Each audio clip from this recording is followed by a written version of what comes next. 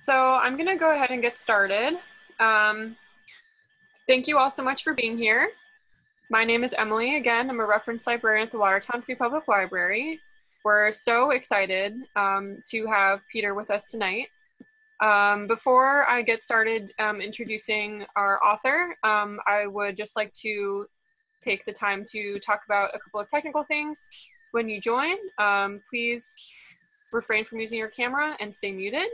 Um, if you have any questions over the course of Peter's talk, please feel free to um, submit them in the chat box. I will be monitoring that and we will have time for Q&A at the end of the session.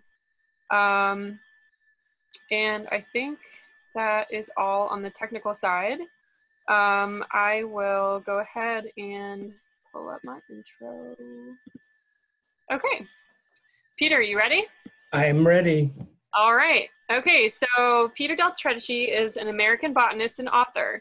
He is a former senior research scientist at the Arnold Arboretum of 35 years and a lecturer at the Harvard Graduate School of Design. He was appointed curator of the Larz Anderson Bonsai Collection in 1982 and was the editor of the journal Arnoldia from 1989 to 1992. Del Tredici is a California is a native Californian. He got his Bachelor of Arts degree in geology from UC Berkeley, um, his Master of Arts in biology from the University of Oregon. He moved to Boston and established his career to earn his doctorate in biology from Boston University. Um, Peter is an advocate of the quote, radically practical approach to urban plant life, holding that what some people see as a collection of undesirable, undesirable plants should be viewed as a valuable ecosystem unique to the hostile habitat of the city. Tonight, we are very lucky that Peter will talk to us about his publication, Wild Urban Plants of the Northeast, a field guide, which catalogs and describes the many species of urban wildflowers, weeds, and other plants that flourish without human support and in which he makes the case that they can be beneficial for the quality of urban life. So please join me in welcoming Peter. We're very happy to have you. Take it away. Well, thank you, Emily, for that introduction. I appreciate it. My only regret is that uh, I'm not able to do this in person. Uh, you know, when we set this up back in February, uh, it was all set for uh, late June, and we were talking about, you know, a talk at the library and then maybe a a walk along the Charles River, but um, events have intervened, and so this is uh, what we've got. Um, and so what I've done tonight is uh, I've put a few slides in, essentially uh, pictures from the book that were taken in Watertown. So I'm trying to make this as much a, you know, not just a, a, a static lecture, but, you know, it has a little bit of a feel of walking along the Charles River in Watertown. Now, I'm going to just jump right in uh, to the lecture, and there'll be save your questions till the end, and uh, you know enter them in the chat box, and Emily will sort of read them to me at the end. But the, the topic for tonight is really the, the basic question: What constitutes nature in uh, an urban context? What does it mean to talk about nature when you live in the city? Now, this opening slide, um, I took this picture in Detroit. Uh, it's not Photoshop. This is actually the way it appears. And uh, the thing I want to call your attention to are those trees growing around the perimeter of this dump area, uh, which are the so-called tree of heaven, the Ailanthus altissima, a uh, introduced species, obviously, that is very much at home in North America and disturbed uh, habitats such as this, it flourishes. And so we're going to talk about this process whereby nature uh, adapts to, uh, you know, what we've done to the planet. And what's the deeper meaning of that adaptation of nature to uh, human society? Now let's see if I can, hmm, something is not click. There we go. There. So as Emily mentioned, I, um, published a book. Actually, the first edition came out in 2010, and the second edition came out in uh, February of this year, and it covers 267 species. And these are not it's not it's not all the species that grow in cities, but it's the common most common species from Montreal to Washington D.C., from Boston to Detroit. And what's interesting, if you look at the breakdown of where they come from, 34, about a third are native to North and Central America. 45, 44% Europe and Central Asia, 13% to East Asia, that would be uh, China, Japan, and Korea. 8% are native to both Eurasia and North America, and 1% to Africa. And so what this, you know, this breakdown tells us is the vegetation of our cities is as cosmopolitan as the uh, human population. And this process of non-native vegetation becoming sort of part of um, our urban or our ecology, our New England ecology goes way back. Asa Gray, a, a, famous botanist at Harvard, published his Manual of Botany in first edition, 1856. He covered 2,400 species, of which 260 were non-native. And these were species that were able to grow on their own and reproduce and spread. By 1890, that figure was up to 15%. By 1908, 16%. By 1950, 20% basically. And in the 1990s, when we no longer sort of use a different geographical basis, state by state rather than whole region, it varies, but uh, 24 to 35%. In Massachusetts, the about 35%, about a third of our vegetation is non-native. So this is a trend that's been going on for a very long time. It's not a new phenomenon that has occurred overnight. It's a, it's a trend.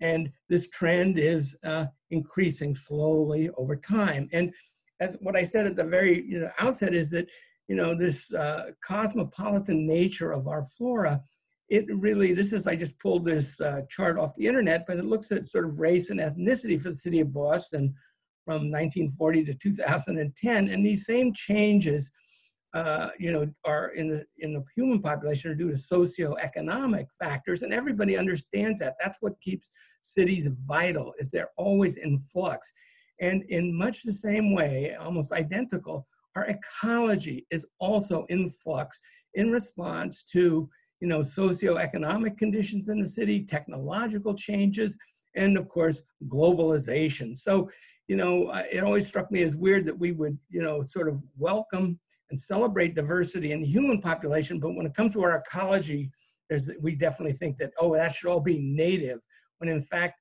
the process, it's, process of urbanization and globalization, and nature in cities is highly cosmopolitan. Now, to start with, I, I this is something I haven't done before, but I thought for this talk I would do it. Um, show you a little bit about the book, talk about what the book is about. And um, what's really funny is that in light of the, the COVID-19 pandemic, I've taken to sort of, uh, if I want to use the word marketing my book as it's actually a field guide to um, being stuck at home. It's, you know, when you can't go anywhere except walk around the block or walk down to the river, uh, this is, you know, this is the book that will help you identify those plants that you see. And you know, a lot of these plants, we see them every day. They're ubiquitous in the landscape, but because we sort of dismiss them as weeds, we tend not to notice them at all. So this page here, this is for the Queen Anne's lace, the, wild carrot, and you can see that uh, the book follows a template and there's, um, you know, 180 two-page spreads with the text on the left that covers, you know, where's it from, what is the vegetative characteristics, what does flower and fruit look like, and then its habitat, where it grows, what it actually uh, does in the ecological sense. And then there's a nice section at the end, which uh, my students really appreciate, which is the cultural significance of that plant, which is, it answers the question of how it got here and what uses people have put this plant to. And uh, just as an example, I picked Queen Anne's lace because, you know, most people are familiar with this plant, but um, what they don't realize is going back to the, the time of ancient Greece, uh, you know, over 2,000 years ago, uh, they recognized that this plant had important properties relative to birth control affecting the ovulation cycle in females. So, you know, this is, it's been part of our human culture for thousands of years. Yet when we see that plant growing in, you know, a vacant lot or, you know, along the side of a street, we just think, oh, there's another weed. And we have no idea the role that this plant played in the development of human culture. The other thing that uh, characterizes the book is that I take a visual approach to the to the, the, learning the names of plants.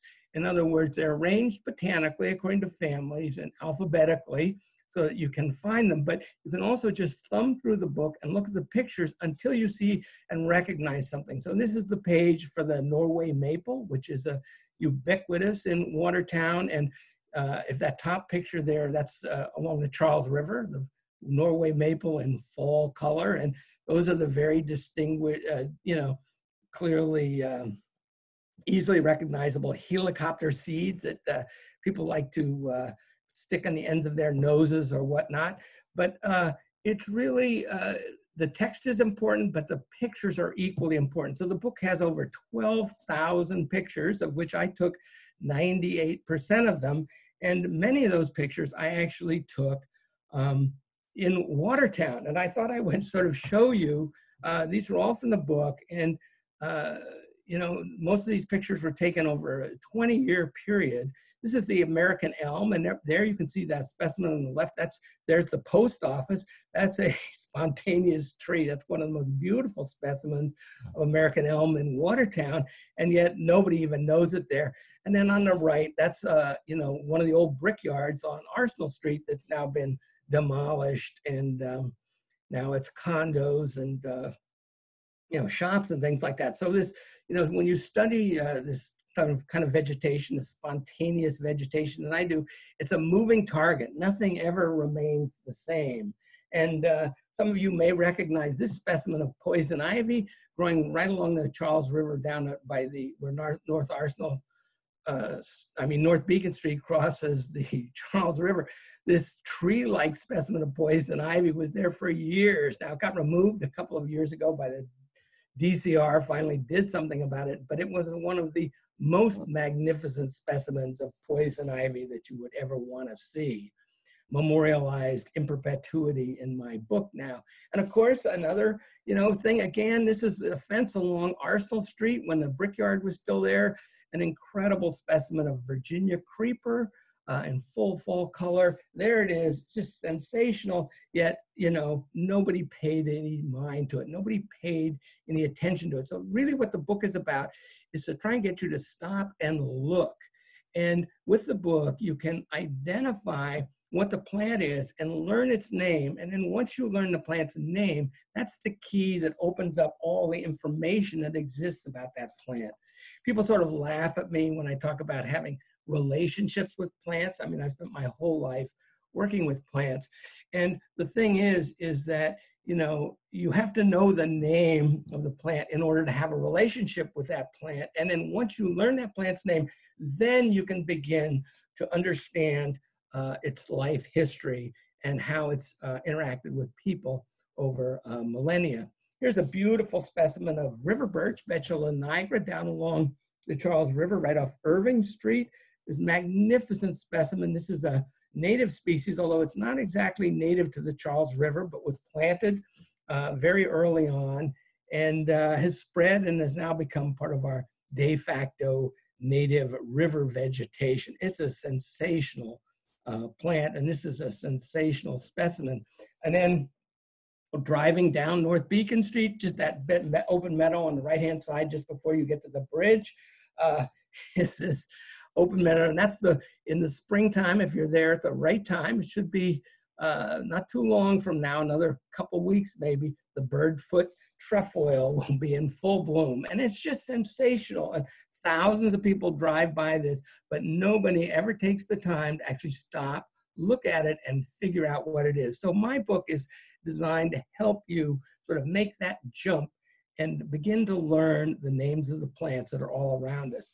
Now, you know, uh, I'm not advocating planting these plants in your landscape because a lot of them are extremely aggressive and, you know, many of them are considered invasive species, but they're still worth knowing their names and understanding them. So this is the Oriental Bittersweet. Now, I, I have to admit that picture is not taken in Watertown, it's taken in Allston, just on the other side of the river as you drive up Market Street.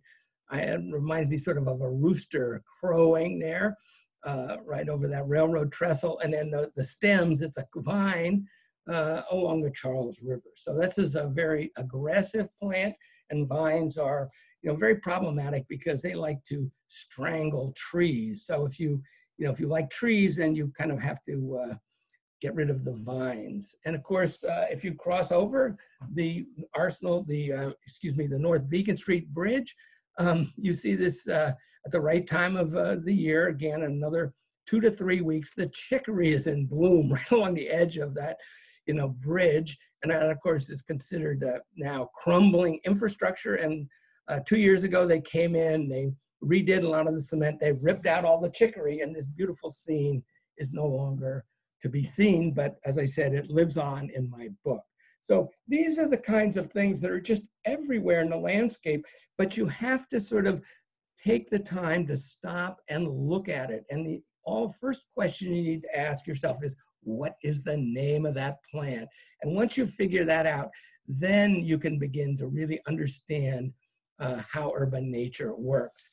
Now, I'm going to jump in, uh, change gears a little bit and talk the formal sort of part of this lecture, which is really about what constitutes, what is urban ecology and what does it mean? So this is the range map for my book. And this is typically, um, you know, how you would define urbanization in the technical sense, 500, the density of the human population, 500 people per square mile. And you can see when I talk about uh, urbanization, we're not talking about sidewalk cracks and things like that. It's a major force that is transforming the landscape in major ways. And you can see that, you know, there's a little gap between Boston and, uh, you know, Connecticut, but essentially uh, all the way down to DC, it's one strong urbanized uh, environment. And the plants that grow there are, you know, very specific to, they're well adapted to those urban conditions. So this is a picture of, um, it's not an East Coast, I don't know if you recognize this, but you see that river on the right-hand side, the trough. This is Los Angeles, and that's the famous Los Angeles River. And so you could ask this question, you know, well, what's native to the city of Los Angeles? And of course, nothing is native to Los Angeles as it currently exists. You could talk about being native in a historical sense, what used to grow there, but uh, all of the native vegetation has essentially been wiped out. And there are plants down there. In fact, some of them are native, but there's no longer a native ecosystem. So this whole idea of restoring a native ecosystem in an urban context, it doesn't make a whole lot of sense to me because this can't be restored to anything other than what it is. And you can have an ecosystem in an urban context, but it's not going to be the ecosystem that was there before people settled the area. Now, uh, one of the things that's really important that you, if you want to study cities and learn about how they function, is you have to treat the city just like you would any other environment. And one of the major things about cities that we've come to learn is called the urban heat island effect. And this is the difference between an urban area and an adjacent non-urban area. And along the horizontal axis, that would be the size of the city from 1,000 to 10 million. And on the vertical axis is the maximum it's a temperature difference between an urban and a non-urban area on a warm summer night. And that difference in temperature can be as much as 12 degrees centigrade, which is about 21 degrees Fahrenheit. That's the difference. At, you know, cities are much warmer than the surrounding countryside. So what this graph is showing us is that if you want to learn about climate change, you want to understand how climate change is going to impact us in the future, you need to, all you need to do is look at the cities because the cities have already warmed up to the extent that is predicted for the surrounding countryside. This is because of all the paving that absorbs heat during the daytime and radiates it out at night, all the automobiles, all the machinery that's generating heat. So cities are, uh, it's a characteristic, they're much warmer than uh, non-urban areas. And I apologize for this, but this is actually a really important slide. My colleagues at Boston University uh, produced this, you can see along the horizontal axis, that's city of Boston is at zero and 100. That's kilometers. That's the Harvard Forest in Petersham, Massachusetts, where I used to work. And on the vertical axis, it represents what percentage of a hundred of a hundred square meter uh, sample plot is covered with impervious surface. So that would be a paving or a building. And then you can see that as you're driving out from Boston, you cross 495 at you know kilometer 20, that all of the sample plots within the 495 beltway were 30% impervious surface or more. And then once you got on the other side of 495, most of the um, sample plots, with the exception of one, which would be Fitchburg, are 25% or less. So the reason this slide is important is it tells you that from a biological point of view, you can also define urbanization by as a percentage of impervious surface, in which case 25 to 30% impervious surface, independent of how many people actually live in the area, creates a urbanized condition as far as the vegetation is concerned. And the way this works is that, you know, impervious surface alters the way water moves across the site, the way drainage occurs. And if you want to change the vegetation uh, in an area, all you have to do is change the, the drainage pattern and the vegetation automatically changes. So impervious surface is a great stand-in for measuring um, urbanization from a biological point of view. Uh, Another way of saying that is from the plant's perspective as opposed to the human perspective. Now, I like to equate um, uh, urbanization to glaciation. And of course, this is the urban glacier that we're all familiar with. We can see them down at the end of um, all over Watertown. Uh, development is happening like gangbusters. And, you know, in its wake, uh, what we is left behind is compacted glacial till. You know, this is primary succession. The landscaper comes in, puts two inches of topsoil down, they sow grass seed, and the vegetation slowly builds back. And what's really interesting is if you look at this map of Boston, uh, the, the, the, reddish uh, area, that's the original topography for the city of Boston when it was settled by uh, the Puritans. And then uh, the beige represents parts of Boston that were filled in between uh, the settle, the first settlement and 1880, and then the blue represents areas that were filled in after 1880, so that, you know, uh, roughly one sixth of the city of Boston is built on fill. And so this is, uh, you know, it's, it's a, it's a really a interesting phenomenon. And this is, you know, this is deposited by the urban glacier. That's what this fill came from uh, is all bulldozed. And what's really interesting is in 2013, FEMA issued this first flood map showing the risk of Boston uh, to Boston from sea level rise. And you can see in the upper left, there's the north end, that's the original topography. And everything inside that red line is at risk from sea level rise. And of course, that corresponds almost identically to all the land was filled in over the course of Boston's 400 year history.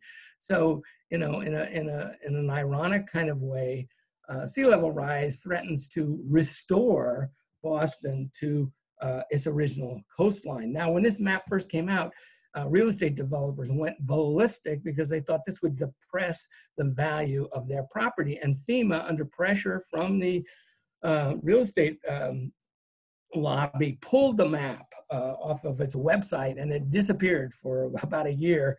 But then slowly uh, more maps began came, coming out and people just could not uh, suppress this information, try as they might. Um, one of the things that's really interesting because I'm, uh, as well as a botanist, I'm a horticulturalist. Uh, and if you know anything about growing plants, you know that it all begins in the soils. And if you want to have a native ecosystem, you have to have pretty much a native soil. And if you don't have native soil, if you have fill soils, well, they're going to support the development, not of a native ecosystem, but what I refer to as a novel ecosystem. And you see there's a very, there's a this big difference between these native soils that are layered with distinct zones of biological activity. They're thin and porous, high organic matter content, low nutrient content, high levels of biological diversity, activity and nutrient cycling, and fill soils, on the other hand, no natural structure, heavy and compacted, low organic matter content, high nutrient content, low levels of biological activity and nutrient cycling, and often chemically contaminated. So, you know, this is the reality of much of, um, you know, the city is they're built on fill. And so this whole idea of restoring what used to be here on a fill soil, that is, uh, that sort of defies uh, reality to my way of thinking. Now, some of the other factors, and you know, what I'm going to do in this lecture is really how does the world look from the plant's perspective? So I'm going to ask you to sort of suspend you know, your judgment and just think about, you know, life on the street uh, from a from a vegetation point of view. And something as ubiquitous as salting the roads in winter. And if you live in Watertown, you know that we use a lot of road salt. Nobody wants to compromise public safety for the sake of a few plants. But um, one of the things that you know people just don't think about is that salt increases soil compaction, decreases water availability. That's called osmotic drought. It reduces cation exchange. It makes it harder for plants to pick up uh, nutrients and elevates soil pH. So this has a profound, just the application of salt completely alters soil conditions. Yet most people just don't really think about that. It's just something that is part of uh, the urban framework. And, but the plants know exactly what's going on. So this plant that, uh, you know, most people don't like because it's really unsightly called mugwort, Artemisia vulgaris, it comes from limestone areas in Europe and it is right at home uh, along these heavily salted roads in the Boston area. And so what the point I'm trying to make is that actually, you know, vegetation has already begun adapting not only to the urbanized conditions, but also in many ways to climate change. And that is a good thing. And I'm going to show you, you know, what does this adaptation really look like? But before I do that, I'm going to talk about a couple of other factors that really define the urban environment. One of them is, of course, whenever you burn any fossil fuels that produces sulfur and uh, nitrogen oxides go into the atmosphere and then under the influence of rain primarily, but sometimes just under dry conditions, those nitrogen and sulfur compounds come back down to earth and acidify the soil and change its chemistry. So this is, you know, in the 80s, this was called acid rain. People don't talk about acid rain so much anymore, but it is still something that happens as a result of burning fossil fuels. But this is a something I want to show you here. This is uh, a map. Uh, this is nitrogen deposition in Boston and this is in kilograms per hectare, which you know translates roughly into pounds per acre. And my house was uh, one of the collecting sites for this study. Right here, I live, uh, you know, not too far from the Watertown Square.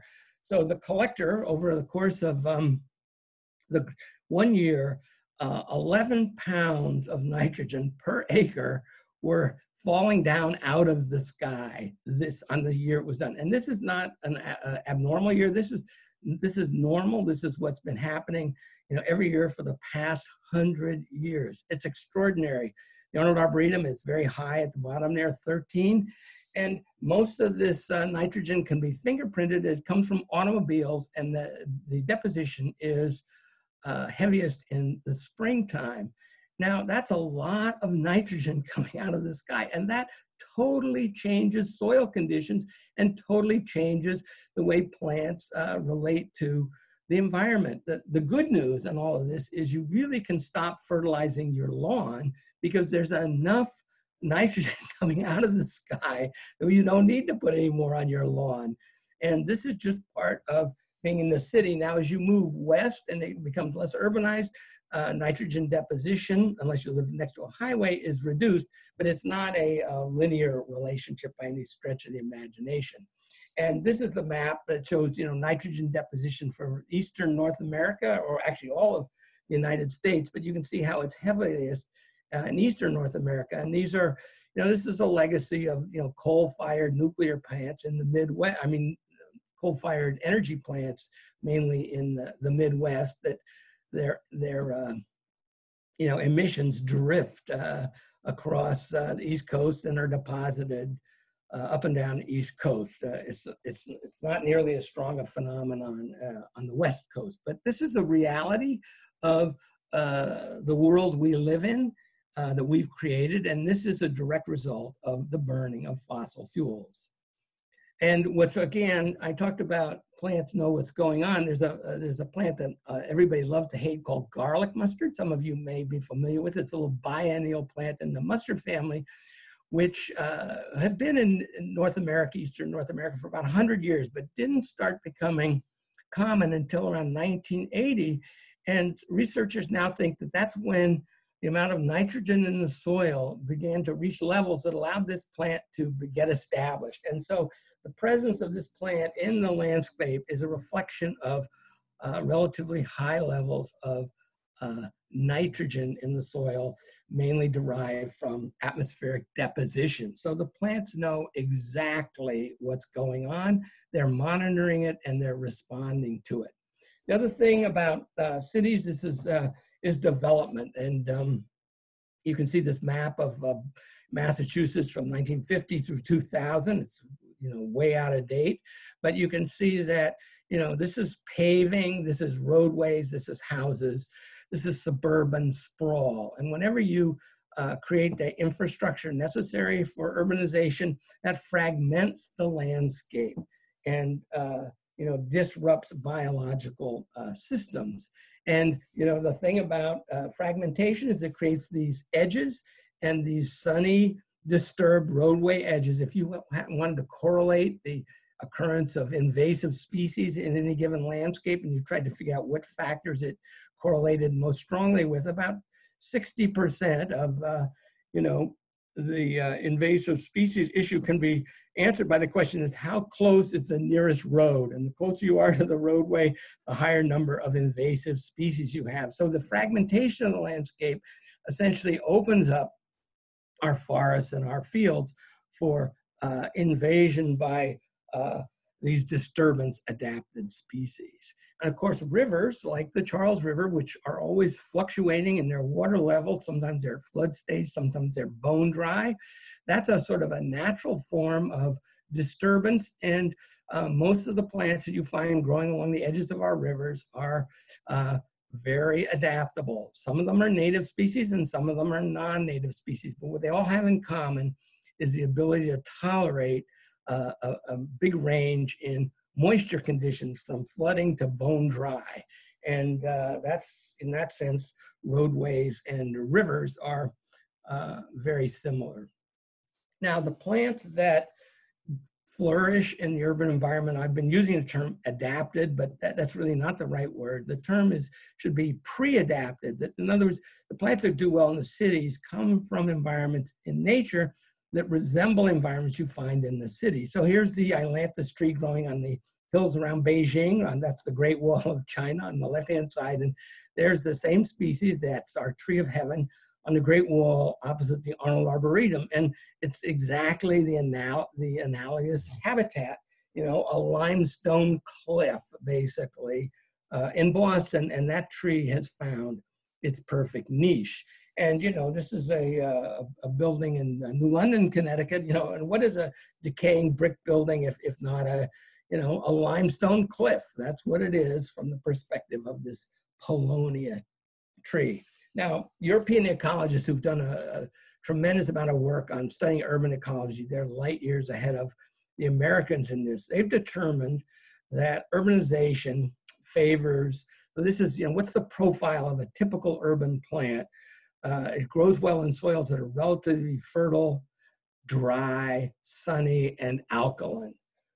So again, roughly 60% of the, you know, the plants that grow spontaneously in the city meet this profile. There are exceptions to it, but this is, these are, this is what urban conditions are like. This is what defines uh, the urban environment from a vegetation point of view. And, you know, it bears no relationship to, you know, what was here before uh, the pilgrims landed. Now, I have a very simple taxonomy, you know, because I'm a botanist, you have to classify everything. But in terms of thinking about the urban environment, you have unmanaged natural or remnant urban landscapes that are sort of left over from you know, what the vegetation that used to be here. There are very few areas like this uh, in Boston. Uh, the Arnold Arboretum has a hemlock forest that goes back to the early 1800s, but uh, there are very few areas. If you go in the western part of the United States, you have many more of these remnant um, native or natural forests than you have on the East Coast because our history is so much longer. Then you have managed functional urban landscapes. These are the things we take care of, parks, gardens, lawns, ball fields, cemeteries, and these are dominated by cultivated plants, rich, highly modified soils. And of course, they require high to uh, medium levels of maintenance. And then uh, the category that I'm most personally interested in are the ruderal uh, or abandoned urban landscapes, which constitutes post-industrial land, vacant lots, roadway edges, dominated by spontaneous vegetation, compacted soils, and of course, they have zero to low maintenance requirements, which makes them highly sustainable because they don't require any input of resources in order to take care of them. I love this word ruderal, by the way. That comes from the Latin uh, rudus, meaning uh, broken stone. Now, uh, because I'm interested in sort of this spontaneous vegetation, the one place to uh, really study this uh, in the United States, or one of the best places, I should say, study is Detroit. And from a sociological point of view, Detroit is a catastrophe. It's lost half of its population. There's no work.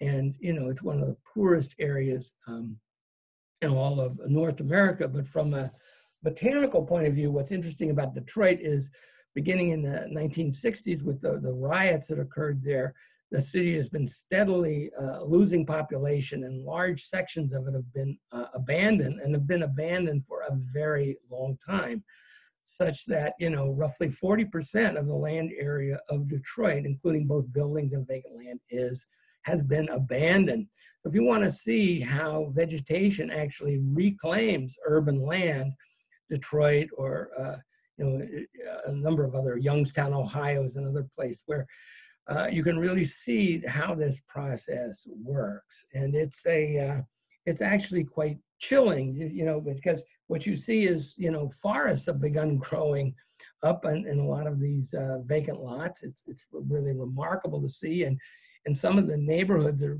totally depressing, you know, only maybe one or two in 10 houses are still standing.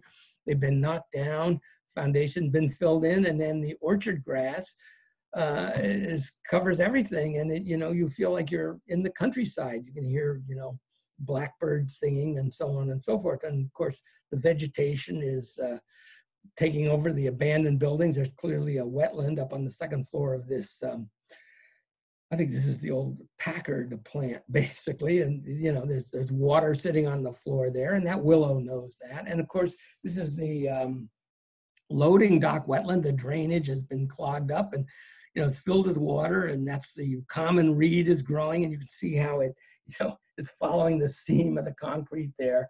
And I was there in early spring and, uh, you know, as I said, the red-winged blackbirds were singing and, you know, this is actually an urban wetland. So, uh, you know, this whole process whereby uh, nature takes over a city is really something that I think we need to start paying attention to. Um, and I call it post-industrial succession. It, ecology, you know, college all study what's called old field succession, a process whereby when agricultural land in New England was abandoned, how the far, forest grew back. So I think a, um, a coming field of research is, well, when cities are abandoned or parts of cities are abandoned, what happens when, uh, you know, vegetation begins to take over? And it's actually an orderly process, although to the untrained eye, it looks as though it's random. And you know, to give you an example, uh, you know, one of the things that that helps delineate vegetation in cities is the fence lines, and these are what are known as safe sites for seedling establishment because uh, you know, the maintenance crews can't get to the vegetation that's protected by the fence line. In this case, this is the Ailanthus, and that's a, those are root suckers, and the, the root is growing right along that fence line, and those are all sprouts coming up from the root. And the fence is, is determining their distribution. And this is along the uh, Watertown bike path. If you, you know, uh, it's quite remarkable. And that is again a row of Ailanthus. And there used to be a fence there, and they took it down and then uh, redid the roadway. But that that pattern, it wasn't planted by anyone. Uh, the tree planted itself and is growing in that manner because there used to be a fence there. And of course, I love this picture from uh, Hartford, Connecticut. You know, the the bonsai uh, form of the American elm. And you just know the maintenance crews would love to get to this plant and remove it, but it's so enmeshed with the chain link fence that they can't do it. So that's what I mean by a safe site. And this is real ecology from uh, the urban perspective. And of course, you know, you always see grasses and other plants coming up in the uh, seams. Whenever you have different types of paving material coming together, you have a seam. So in this case, this is the trifecta of paving materials. You got blacktop, granite, and concrete, and they expand and contract at different rates, and that creates a, a gap. And if the seed is the right diameter and can fit in that crack, it will then sprout and you get the, the vegetation always growing in the seams between different types of paving material. And, uh, you know, another example is this little plant called carpetweed Mollugo. Uh, you know, I took this picture on Beacon Hill. You turn your air conditioner on in, in you know, June. When it's just starting to heat up, the air conditioner condenses. That's the beginning of the rainy season. The seeds of this little plant, it's an annual from Mexico, carpetweed, they germinate.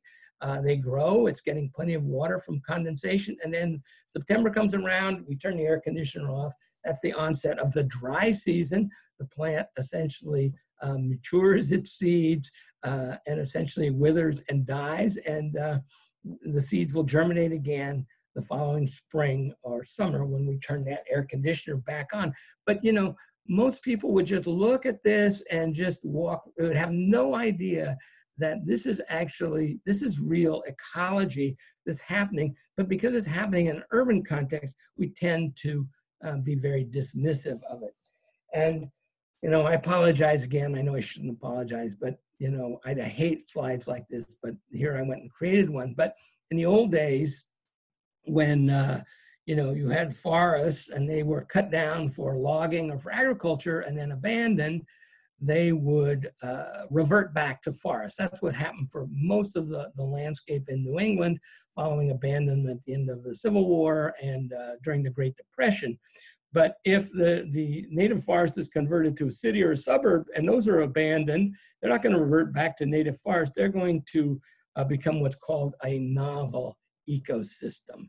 And this is what is happening in the world today, not only in the United States, but in Europe, in Asia, in Africa, is these novel uh, cosmopolitan er, uh, ecosystems are emerging uh, everywhere. And it's not a return to native ecosystems, it's these hybrid ecosystems. There's a lot of native species in them, but they also have a lot of non-native species. And the good news is, is that despite the fact that they're not native ecosystems, they're, they're ecologically functional. So this is a, a important slide, uh, and it's you know to understand what native what these these um, novel urban ecosystems are, the interacting forces of urbanization, globalization, and climate warming destabilize native ecosystems and favor the spread of opportunistic species both native and non-native. The key thing there is it's not just climate change, it's urbanization, globalization, and climate change working together. Water, air, and ground pollution impact soil chemistry, which impacts microbial activity, which impacts nutrient cycling, which impacts vegetation. So it all starts in the soil. Everything we do, you know, that's bad for the planet, it ends up either in the soil or it ends up in the ocean. And, you know, that's just the reality of uh, the modern world. And so, uh, you know, you can't just say, oh, I'm going to plant a native species. And if you don't have the right kind of soil, it's not going to grow. Uh, so, you know, you have to acknowledge the reality. And of course, habitat fragmentation creates sunny edges, which are dominated by fast growing disturbance adapted species. And uh, this is really, you know, this is a list of the ecosystem services provided by spontaneous vegetation because not only I don't, I say it's not just, it's not bad, I say it's actually good. And, you know, you can look down this list, you know, carbon sequestration, but, you know, I'm going to, it's, it's, too long a list to go over uh, piece by piece, but I'm going to show you a few pictures um, from Watertown, basically, along the Charles River. Here, these are, you know, Norway maples that are holding up the bank of the Charles River. The fact that they're not native, uh, it would be a mistake to remove those trees there because we would lose uh, from erosion a tremendous amount of, you know, the land. So this is something the species is doing, and it's, uh, of course, not native to um, our area. This is down by, uh, you know, the Charles River, uh, just along Greenough Boulevard, right after you cross over uh, North Beacon Street, there's a toxic site there left over from the uh, when the days of the arsenal, it's leaking some, uh, you know, some discolored fluid. And there, of course, is the common reed, the Phragmites australis, again, a European species, but that's uh, one of the species that's really well adapted at absorbing heavy metals, absorbing nitrogen and phosphorus. So the plant is actually cleaning up uh, this site uh, at no cost to the taxpayer. So this is actually, it's performing a very important function. And just to say, oh, it's an invasive species, doesn't belong here,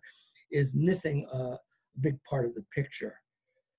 And um, I want to go back to this slide. This is, uh, you know, along the Charles River, uh, just upstream from uh, Watertown in Waltham. And a lot of people don't realize that, you know, the incredible industrial legacy of the Charles River, all of the factories up through, uh, you know, Watertown and Waltham. And now there's just a lot of empty shells there.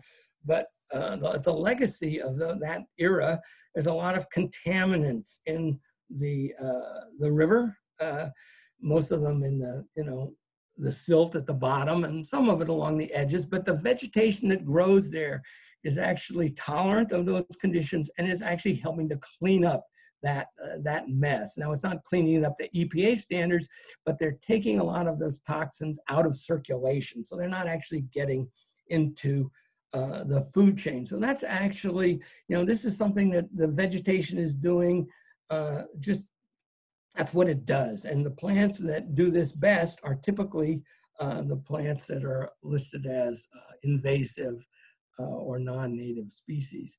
And of course, um, this is the Ailanthus forest over by the Perkins School, and it provides, you know, food and habitat for wildlife. Uh, you know, this is actually, you know, what wildlife likes is they like messy landscape. The messier it is, the more wildlife likes it.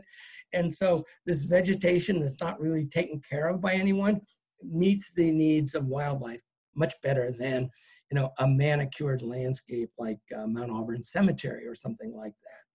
And of course, uh, the vegetation uh, provides solace and respite for people, especially, you know, everybody now really appreciates how important it is to have some little bit of nature to connect with when we're, we're stuck at home. And of course, you know, it's not just the, the beauty of it, but also it provides uh, good educational opportunities as well. This is a silver maple along the uh, Charles River uh, in Cambridge, not too far from Watertown. And I'm going to sort of uh, end with by talking about what are some of the, these plants that are you know ubiquitous and how did they get here? A little bit of the history of these things. This is of course the mulberry plant, the common mulberry. This is a legacy planted extensively in the 1820s when the United States thought we could compete with China in the production of silk. That didn't really work out very well, but the mulberry trees are still with us today, a legacy of that failed uh, economic endeavor. And it's dispersed by birds, of course. And this is right in Watertown Square.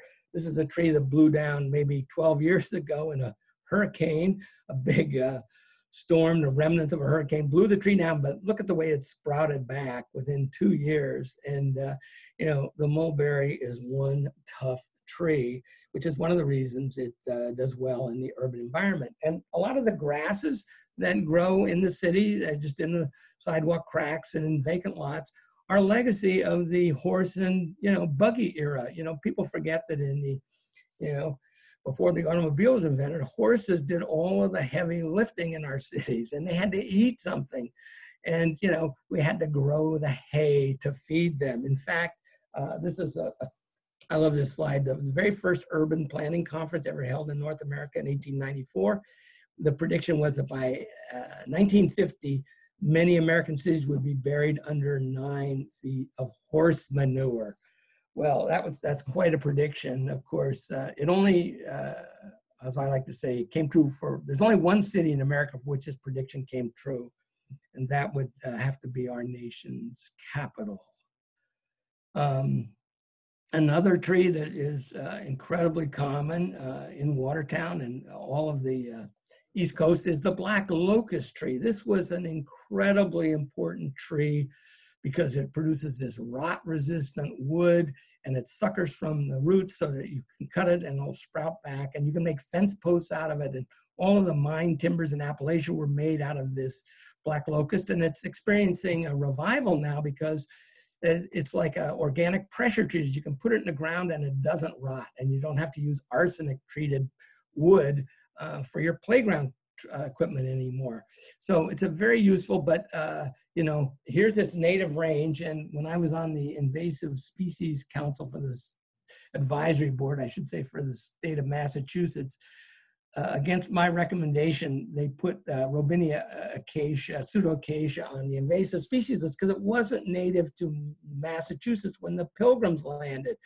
And I said, well, they started planting it in the early 1800s. So, you know, is that really relevant? And the answer was yes, you know.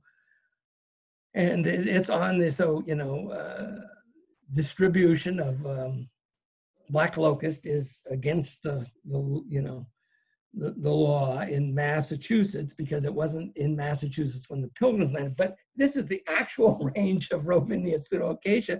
So, you know, it's historic range. It's an interesting bit of history, but it's irrelevant in terms of the current conditions. And just because we passed a law declaring it a noxious weed, uh, the plant isn't, isn't going to pay any attention to that. So, you know, it's a there's a lesson there, and of course now the uh, the the market for black locust is, skyrocketed because everybody wants it for uh, this organic pressure treated wood. So, uh, and yet here we've banned its um, production in our state. Another one that most people are familiar with, the infamous Japanese knotweed. If you have this plant growing on your property in England, you can't sell the house until you get rid of the plant. And this was a hot garden plant in the 1870s and 1880s. The famous garden writer William Robinson was a big advocate for this plant. Uh, but by the 1920s, when he, he finally wised up to it, he said, well, maybe you shouldn't be planting this plant. It was too late and now it's everywhere and you can see it if you walk along the charles river. It's it's absolutely everywhere. And you know i'm not saying that these things are benign or anything like that but you know this is an example in in uh, along the white river in um, vermont. Uh, hurricane irene swept through there in 2011 the native vegetation all got washed away but the japanese knotweed because it has a deep root system uh, survived and that is now pretty much the only vegetation along both banks of the White River in many stretches uh, uh, where where it is in Vermont. So I'm not really, you know, advocating the planting of these things. I'm just saying that where they exist, they actually are probably um, serving a, a, useful function, and actually to, you know, go in there and eradicate these species, it requires incredible amount of uh, resources in order to do that. Another example, I mentioned the, the Phragmites. This is, if you might recognize this, the New Jersey Turnpike. This would be the, um, if you know your New Jersey geography, the Vince Lombardi exit. And you could look at that and you say, oh my God, that's an invasive species taken over you know, huge sections of the Hackensack Meadows. But the other uh, way you could look at it is there's over 500 landfills in this area, and they're all leaking phosphorus and nitrogen, and the Phragmites is helping clean it up, uh, you know, at no cost to the taxpayer. And, you know, this is the salt meadow cordgrass, Spartina patens, that, uh, you know, was there before the Phragmites uh, got established. So if you wanted to bring the salt meadow cordgrass back, you wanted to restore that landscape, uh, it would be very straightforward. All you would have to do is actually remove the New Jersey Turnpike and restore the tidal flow of water because that was a tidal marshland. And basically, you would get the Spartina back. But it, now it's brackish and there's no uh, tidal flow, and that's the conditions that the Phragmites likes.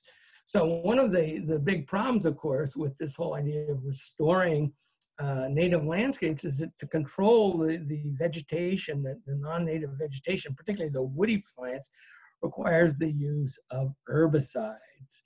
Uh, you can't do it all by, I mean, your own yard, you can do it by hand, but on the landscape scale, you can't really do it by hand. And so, uh, you know, you have this, uh, this conundrum for land managers, which is, you know, yes, they want to control the, the, invasive species, but a lot of the people that live in that area, they don't want to see uh, those herbicides used anywhere near their property. So this is a real challenge for how, you know, how this restoration movement is going to move forward because they can't really do it without uh, the use of herbicides. So what I advocate is, you know, managing these ecosystems uh, through, through a design process known as intaglio after design, where you design by removal rather than insertion. And uh, it's a it's a very different process. And basically, you know, what you do is you look at the landscape and you remove vines that will strangle trees. You remove diseased or damaged trees that are hazards for people that are walking underneath them. Plants that are unfriendly or unhealthy, poison ivy, multiflora rose, Japanese barberry, ragweed. Unsightly and aggressive plants that are commonly perceived as indicators of dereliction or neglect. These are the plants that, you know, people think are really ugly. And you know, the challenge is how do you manage these ecosystems to increase their aesthetic and ecological functionality. That's really what we need to start doing, not try to eliminate them or turn them into native ecosystems because that isn't just practical.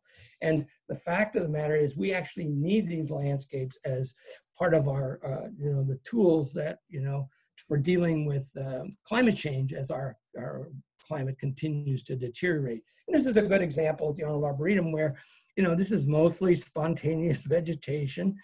Uh, and we mow the edges there so that people have good sight lines, they feel safe, and it sends the message that somebody's taking care of the landscape. But you know, the landscape as a whole, there's very little intervention. It's just left to do its own thing, and it really is a very functional, what's called an urban wild. And people love this area. It's nothing like the rest of the arboretum. It's very well maintained and manicured. This is people when they're in this area, they feel like they're coming in contact with nature which is not what you feel when you're walking in the Arboretum proper. So that's the end of my uh, lecture. And of course, uh, I'm sure they're going to put this on my tombstone uh, when I leave this planet. But it is really, I think, something we've all uh, come to appreciate more as a result of the COVID-19 pandemic. we really have to adapt, learn how to adapt to these conditions that we may not like, but if uh, this is a Darwinian world we live in, and that's the way it is. Anyway, thank you very much for uh, your attention. And I guess, uh, Emily, is it time for some questions? Yes, indeed it is. Hold on, I'm going to start my video. I hope I didn't go on too long. I, I no, that was great. Thank you so much. Um, I have to adjust my lighting here. It was a little bit uh, lighter when we started. the sun is set. yes. Okay. So um, give me one moment to pull up the questions. Peter, would you mind putting your uh, title slide back on so that we can see that awesome picture that you took? Oh my God. Okay, so um, I had a pretty high volume of questions, so we won't get around to everyone's questions, but I do have them written down, so I will email them off to Peter after we get finished tonight. But thank you all so much for your lovely questions. Um, okay, Peter, so um, the first question comes from Mary Lou. She says, Your pictures are great. What kind of camera do you use? And what kind of camera do you recommend for photographing things that we see around town? Well, what's really amazing is that, um, you know, because I started this project, you know, I've been taking pictures since the 1980s, but I used a Nikon for a while and then a Canon a digital Rebel. That was my go to camera when I did the first edition. And I was using that through the second, and midway through, starting around, I think 2015, I got myself an iPhone. And I now have um, the iPhone, I think it's the, whatever the one that has uh, two lenses in it. it. It is, it's unbelievable. It takes just great pictures because, you know, to get the computing power that is in the iPhone in a camera, you'd have to pay, you know, three or four thousand dollars. And as long as you have good light, the iPhone just takes sensational pictures. And um, it works really well under difficult light conditions because it's got this processing power and can actually calculate, you know, what the right correct exposure is. So as opposed to bracketing everything the way I used to. Uh, and the other thing about the iPhone, it's great, it's always with me. You know, I used to carry my, my, my bag of my camera and my lenses around with me all the time. And that got to be, you know, somewhat burdensome. So right now, the, pretty much the only camera I use is my iPhone. So great answer to that. Okay. Um, So the next question comes from Jessica. Um, she asks, should we try to quote plant native if we can? Or if it's filler soil, should we plan to adjust our planting to those that would survive and thrive? What do you think? Well, what I would say is the thing about gardening, why gardening is such an attractive, um, you know, enterprise for most people is that you you're the boss. You get to, uh, you know, you're in charge basically of of the landscape. And um, oh, I, I'm trying to get that slide up. And you know it's illusory you know you you you're you this idea that you're you get to play god in the garden you get to decide who lives and who dies and i think in your own landscape that you are in control of you can do whatever you want if you want to plant just native plant, plants that is a good thing and i think the more native species you have in your landscape the better but the fact of the matter is, is there's a native non-native species are also very important particularly those that bloom uh, or produce fruit at times of the year when the native vegetation uh, is not doing anything. So the hydrangeas that uh, bloom, particularly the hydrangea paniculata that blooms in September, when not a lot of native things are blooming, provides a very important source of nectar and pollen for insects that really don't have any other place to go to. So uh, the list that I've seen about the best uh, plants for um, you know, pollinators. It's not all just native species. It's, it's you know, maybe six native species and four non-native species when it comes to trees and shrubs. So I think that, you know, I'm certainly not advocating the, the planting of those these species that I've highlighted. These are the ones that are sort of the, the, default vegetation in the city. When nobody is taking care of the landscape, these are the plants that flourish. And you know, that is telling us something. These plants are adapted to the conditions that we've created. If we wanted to convert those landscapes into native species, that would just be incredibly expensive. And the thing is, is once you go in there and you start ripping out invasive species and planting natives, that's really just gardening. You know, you're deciding who lives and who dies. And it's not really ecology from my perspective. Ecology is really about letting nature make the decisions. And you know, there is a crisis. There is a, you know, an extinction crisis, and uh, some of native species, particularly lepidopterans, they need very specific insects to feed on, and certain insects need certain uh, special flowers to feed on. But those are the exception rather than the rules. Most of the you know, the, the animals that exist in New England, particularly in an urban and in a suburban condition, are really generalists. You think about, you know, a lot of our birds, they have to fly from New England down to the Caribbean every year. So they have to eat a huge range of, uh, you know, plants and insects during that journey. So they're not tied to just one specific uh, food source. So I think that in your own landscape, you can, you know, do whatever you want, and certainly planting native plants is a really good idea. But I don't think that the idea of that doesn't scale up to the landscape scale, basically. And so I think we have to have a, a different approach, uh, which is, as, as far as I'm concerned, is how do you manage this, this, these landscapes to make them more ecologically functional. Awesome. Um, and this is a quick question. I think you already answered this, but where is your title slide taken? Was that in Detroit? That's in Detroit, yes. Okay, great. Just, you know, walking around Detroit, I, it's an unbelievable uh, city. I mean, what's interesting about Detroit is that unlike Boston, the land has lost its value. And so one of the big challenges they face is what do you do with land that has no, that has lost its value? You can't just created all the agriculture because a lot of it is contaminated. And you know, there's more land than uh, there are there is people basically. So this is a huge challenge uh, for uh, the people who live in Detroit and for the you know the landscape architecture profession that, that deals with these kinds of issues. Hmm. Okay, so we had a couple questions about the urban heat island effect in the mm-hmm. slide mm-hmm. that you put up for that. Um, so one person asked, Libby asks, why is the effect less pronounced in Europe than is in the, in the US? And another person also asked, um, why, oh, give me one second, I have here. Um, why is it lo- more southern in Europe? So Rebecca wanted to know why it was more southern, and Libby asked why it may be more pronounced in Europe. I think that's the same uh, question, basically, that the the heat island effect. And I think I, I, because that's a meta-analysis, in other words, they took data from a lot of different studies and mushed it together into, you know, not just one study. It's hard to say exactly what's going on, but people I've talked to, the one thing that the, the automobile is not nearly as ubiquitous or, uh, you know, omnipresent as it is in, uh, you, you know, it's much more uh, abundant in the United States than it is in Europe. And that could be a big part of it, but it's really not exactly clear why. Um, Great.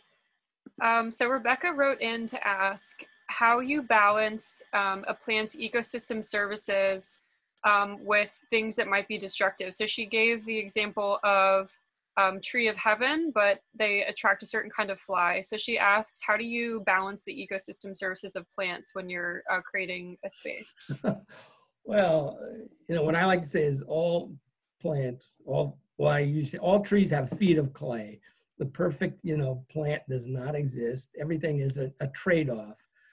Um, and you know, another way of phrasing that question, you look at the ailanthus tree is would the world be a better place without the ailanthus tree? I mean, I, I, I'm of the opinion that ailanthus is the most common tree in New York City. And, you know, here is, you know, uh, Mayor Bloomberg wanted to plant a million trees in New York City, which he did actually, but it's not clear how many of them are still alive.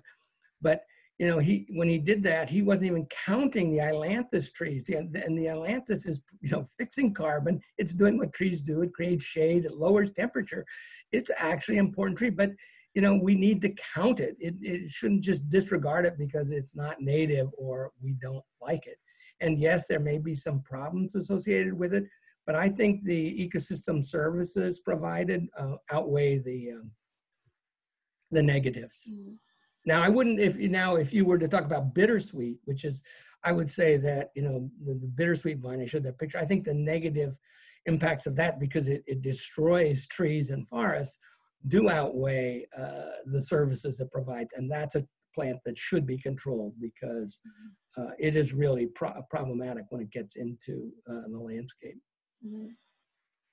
All right. Um, so Jack wrote in and says, asks rather, if cosmopolitan vegetation is pre-adapted to an urban higher temperature, what happens when an urban heat island, for example, becomes even more extreme? Well, I, one of the slides I didn't show is that, you know, that contrary to what a lot of people think, that actually trees oftentimes grow better in the urban environment than they do in the non-urban environment because they have warmer winters, they have a longer growing season, they have all this nitrogen deposition. And those things can have very positive effects over time. But if you get too much of any of those things, too much heat, too much nitrogen, uh, and you know, too mild winters, which allows pests and pathogens to become established, then it can be a real problem. So all of these things are relative. It's not an absolute. So yes, you can definitely have too much heat, and definitely uh, plants don't like it when it gets uh, you know, much over, you know, 90 degrees, they kind of shut down because their photosynthetic uh, machinery doesn't work so well. All right. Jennifer wrote in to ask you, are citizen science platforms like iNaturalist contributing to an understanding of urban plants? And can you talk a little bit about iNaturalist? Well, I love iNaturalist. Uh, that's, that's just, it's a um, app that you can put on your phone and what's great is you can take a picture of it and it's crowdsourced. So then, and it knows where you are. So you can be in, in Mexico, you can be in Italy, wherever. You take the picture, it knows where you are. And then based on other people who are in that same area and have taken similar pictures, it tells you what they think it is. So there's, a, and it does it in about five seconds. So essentially what I'm, I, you know, you no longer need I'm, I'm making myself obsolete, basically. You know, people used to ask me to identify all these plants for them. And I said, no, just get the iNaturalist app and you don't need me anymore. In fact, I don't need to carry field guides with me when I travel uh, because you've got, as long as you have internet, you know, access or reception, uh, it's remarkable. And, you know, every once in a while I've come up with something that, that isn't able to identify, but most of the stuff that I've you know, I've, where I've used the app, it comes up with a pretty good answer. I think it's the correct answer. So I, this, and it, and it only gets better over time as more and more people use it. That's the really incredible thing about it. That's awesome. Um, Deanne would like to know if goose poop affects vegetation. of course, that's nitrogen. We call that a nitrogen pulse, actually. And there are certain plants that actually know what to do with nitrogen. Think about ragweed, you know, all of your common, uh, you know, crabgrass, all the things that grow in your garden as weeds they, they know exactly what to do when they're confronted with a pulse of nitrogen. And, you know, you can see it if they, you know, like when a dog poops on the grass and it's left there and they don't pick it up, in the springtime there'll be a little the dead spot where the poop was but then all around it the grass is much taller than the surrounding area so you know that kentucky bluegrass that is you know in our lawns they, it knows what to do with the nitrogen and that's one of the things the native vegetation evolved under uh, conditions of very low nitrogen. And so it's a very, you know, mycorrhizal relationships and everything.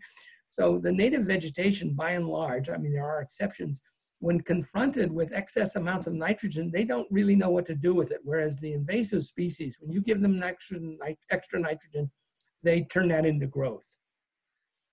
Nice. Okay, so Bill had a question about herbicides. Um, he asks if you're using toxins to um, cull certain kinds of plants, what happens when they die and rot? Does it re-release toxins back into the atmosphere? Is any cleanup really happening? And what's the benefit of those? Well, if we take an example Roundup, which you know, of course, has you know terrible reputation now, um, that that does break down in the environment over you know the period of about a month, depending on the heat and the, the moisture conditions. So uh, by the time the, the plant dies, that that that uh, you know Roundup is probably not going to be persistent, which is one of the reasons why people you know used a lot of Roundup, you know, uh, back in the day. Now uh, the the cancer um, issue has trumped everything else, and uh, so the, the, the, the use of herbicides is very problematic. And I think that, you know, it's, you know, I don't want to, that's not something, I mean, one of the things that's really unusual about my book, most people write books about weeds. Purpose of the book is to tell you how to kill the plant.